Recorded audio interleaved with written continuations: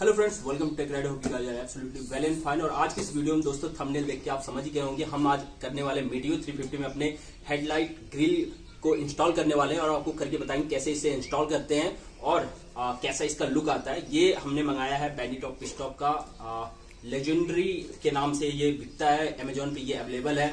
और इसे आप अगर बाय करना चाहते हैं तो आपको डिस्क्रिप्शन में लिंक मिल जाएगा इस प्रोडक्ट का वहाँ से जाके आप सीधे बाय कर सकते हैं। इसकी जल्दी से अनबॉक्सिंग करते हैं।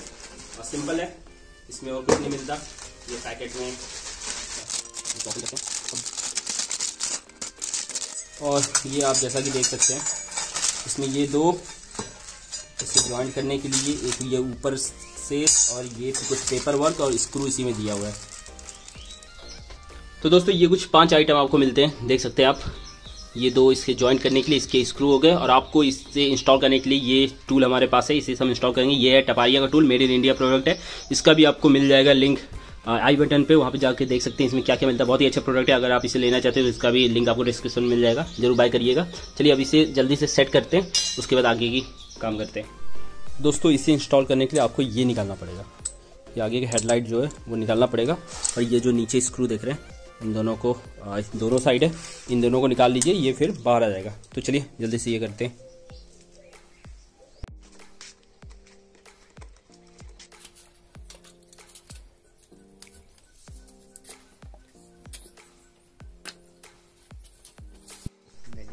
अब ये स्क्रू को निकालने के लिए आपको यहाँ से ही पकड़ना पड़ेगा, क्योंकि ये घूमता जा रहा है, ये इधर से। किसी प्लायर से इसे पकड़ के उधर से खोल के फिर देखते हैं इंस्टॉल करने का ट्राई करते हैं।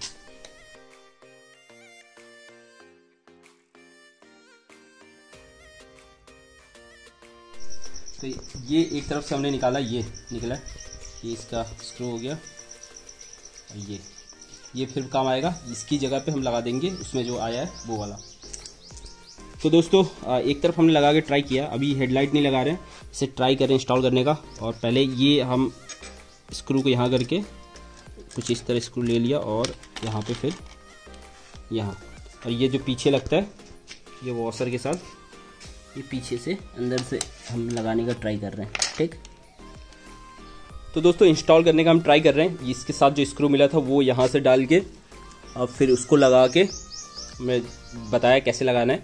और फिर ये पहले इसे हल्का सा टाइट किया है। उसके बाद अब हेडलाइट लगाएँगे और हेडलाइट लगाने के बाद फिर इससे टाइट करने का कोशिश करेंगे। तो देखते हैं कैसा होता है। तो ये पहले लगाया हमने, उसके बाद ये आगे वाले को यहाँ पे ये डाल के और यहाँ पे थोड़ा थोड़ा बजा दिया इसको, ठीक? और आपको अब इसकी ज़रूरत है रिंच की और ये नौ या ये वाला, आठ या नौ नंबर का चाहिए, ये यहाँ से पकड़ेंगे और इधर से टाइट करने का ट्राई करते हैं। चलिए।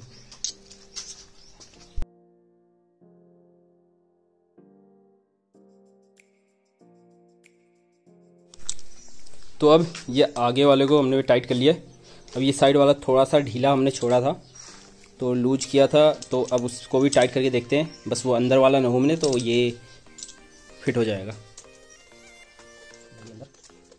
काफ़ी मेहनत के बाद अब मेरे ख्याल से इसी तरह इंस्टॉल होगा।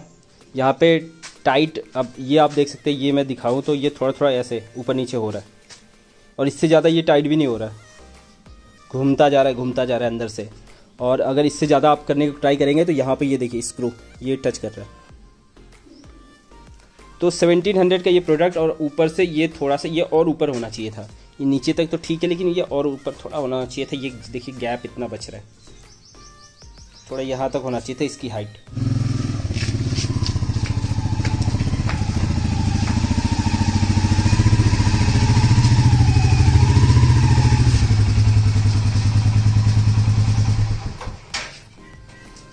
तो दोस्तों फाइनली हमने इसे इंस्टॉल कर लिया है। और देख सकते हैं आप ये लुक इसका कैसा है। डीआरएल पे भी मैं दिखा देता हूँ। अब कुछ चीज़ें मैं आपको बताना चाहता हूँ।